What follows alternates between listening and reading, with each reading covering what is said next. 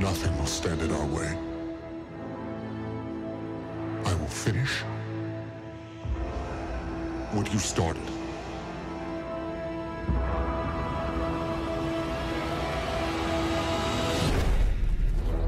The dark side.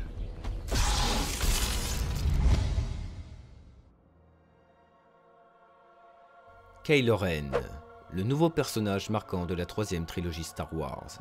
Fils de Han Solo et Leia Organa, Kylo Ren est un Sith, apprenti du suprême leader Snoke et servant le Premier Ordre. Il eut dès sa naissance un don pour la Force, c'est pourquoi il fut envoyé par ses parents à l'Académie Jedi de Luke Skywalker. Cependant, se laissant séduire par le suprême leader, il basculera du côté obscur de la Force et tuera tous les apprentis Jedi de l'Académie de Luke et formera, à l'aide de son maître, l'Ordre des Chevaliers de Rennes. S'ensuivit un grand désarroi chez Luke, qui décida alors de s'exiler et de laisser tomber son académie afin d'éviter que d'autres Jedi ne basculent du côté obscur. Kylo Ren, sous les ordres du suprême leader, cherchera un morceau de carte afin de localiser l'endroit où Luke s'est exilé et le détruire pour que les Sith triomphent enfin, car il est le dernier des Jedi. Mais Kylo Ren est encore un jeune Sith, très perdu et désorienté. Suivant l'exemple de son grand-père Dark Vador, il fera tout ce qui est en son pouvoir pour lui ressembler et terminer ce qu'il avait commencé. Il est un personnage phare de cette nouvelle saga, ce qui lui donne d'énormes responsabilités. Néanmoins, il reste très énigmatique sur sa façon d'être. Ce personnage est un vrai casse-tête sur ce qu'il est réellement. Pourrait-il être un agent double, un Jedi infiltré? C'est ce que nous allons voir avec trois théories que je vous propose.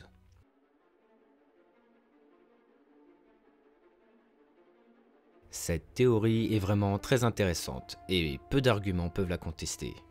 Tout comme je l'ai résumé il y a un instant, Kylo Ren est un Sith, apprenti de Snoke et un partisan du Premier Ordre.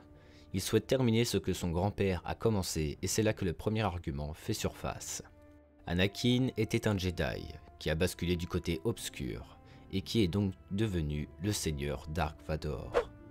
Où je veux en venir, c'est que Kylo Ren pourrait bien vouloir finir le combat que Anakin avait commencé, et non celui que Dark Vador avait commencé, c'est-à-dire détruire le mal en tuant les Sith. C'est pourquoi il serait donc infiltré dans le Premier Ordre pour tuer le suprême leader Snoke. Anakin n'a pas toujours été un Sith, il rebascule même du côté lumineux à la fin de l'épopée. De plus, revenons à la scène où le célèbre contrebandier Han Solo meurt de la main de son fils Kylo Ren. Grâce à cette théorie, la mort de Han Solo prendrait tout son sens. Disney a eu beaucoup de cran pour faire mourir un personnage emblématique de la saga. Cependant, la mort de Han reste encore dans nos mémoires avec plusieurs incompréhensions.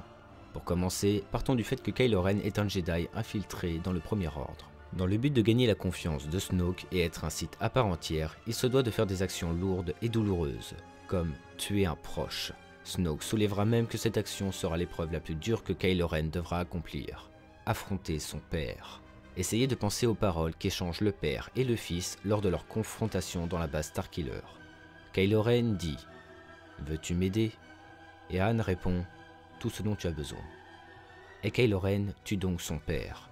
La mort de Han Solo prendra alors tout son sens. Han s'est laissé tuer par son fils afin qu'il puisse accomplir sa mission. On le voit d'ailleurs souffrir jusqu'à même pleurer car il n'a pas le choix. Il devait tuer son père pour ne pas se faire prendre. Enfin, cela expliquerait pourquoi Kylo Ren est tant intéressé par Rey. Grâce à elle, l'équilibre de la force serait préservé car à eux deux, ils seraient en mesure de détruire le suprême leader. Et puis, on pourrait donc expliquer le massacre qu'a fait Kylo Ren dans l'académie de Luke.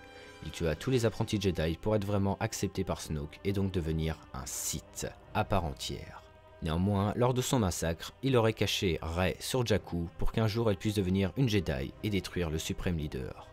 A noter que Rey fut caché sur Jakku comme Luke fut caché sur Tatooine, ce qui nous rappelle énormément l'épisode 4.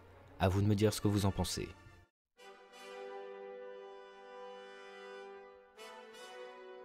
Grâce à la précédente théorie, nous avons donc les deux facettes de Kylo Ren, le côté lumineux et le côté obscur. Cette théorie a été écrite entièrement par moi et j'espère qu'elle vous plaira.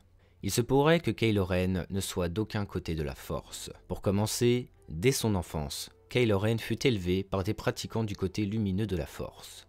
Cependant, il fut séduit par le côté obscur et se laisse rejoindre Snoke, le suprême leader. Le côté lumineux de la force lui fut imposé dès son plus jeune âge. Il n'a pas pu choisir quel côté il voulait. Ça paraît un peu tiré par les cheveux, mais repensons aux histoires de famille des solos. Kylo Ren semble détester son père, même si au fond il l'aime. Mais c'est pourquoi il quitta la famille et rejoigna le côté obscur, par rébellion auprès de ses parents, comme une crise d'adolescence. Peut-être que Kylo Ren ne connaît absolument rien au côté obscur et a rejoint celui-ci seulement dans le but d'être en opposition avec ses parents qu'il déteste et qui lui avaient imposé le fait d'être du côté lumineux dès sa naissance.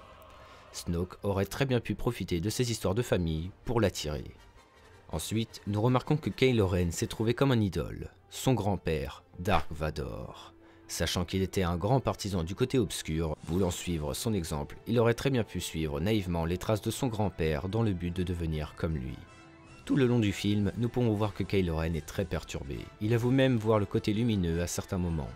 Et il tua Han Solo, possiblement pour se prouver qu'il était un vrai Sith, et se rassurer, de peur de retourner du côté lumineux.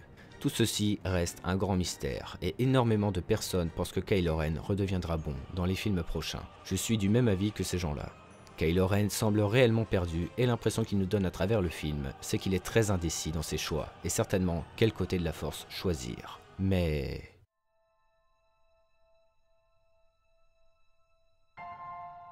Abrams a réfuté la théorie que Kylo Ren soit un Jedi infiltré. Et si Kylo Ren était en fait rien de tout ça? Et n'était seulement qu'un Sith cherchant à détruire les Jedi et établir le premier ordre et la soumission dans la galaxie. Pourquoi Kylo Ren est passé du côté obscur?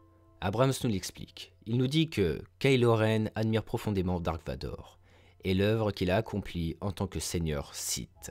Il nous affirme ensuite que Kylo Ren sait très bien faire la distinction entre le Seigneur Vador et Anakin Skywalker, qui avait pour but de détruire les Sith. Ceci nous montre que Kylo Ren n'est donc pas un Sith par hasard, et que ses motivations sont réelles, mais étant encore très jeune, il échoue car il n'a pas l'expérience de la force que possède son grand-père et se laisse séduire par l'ennemi. Cependant, même avec les explications du créateur, le but final de Kylo Ren reste tout de même très flou. Que cherche-t-il réellement? Son côté indécis nous pousse à croire qu'il pourrait rebasculer du côté lumineux. Après tout, comme je le dis si bien, Star Wars 7 est un calque de Star Wars 4. Dark Vador et Kylo Ren sont étrangement liés, et cela nous est montré par l'idolation de Vador pour Kylo Ren. Comme dans l'épisode 4, un personnage emblématique meurt de la main de l'ennemi, soit Obi-Wan Kenobi de la main de Vador et Han Solo de la main de Kylo Ren dans l'épisode 7. Tout est encore possible, il se pourrait que Kylo Ren tue le suprême leader à la fin de la saga, comme Dark Vador tua l'empereur dans l'épisode 6. On ne sait pas réellement si Kylo Ren a vraiment encore choisi son camp, seuls les prochains opus nous le diront. N'hésitez pas à interagir via les commentaires et à me laisser un like qui est très important pour l'émission. Merci à ceux qui partageront la vidéo, on se retrouve très prochainement dans une vidéo théorie. Que le Lionheart soit avec vous, c'était Argorok.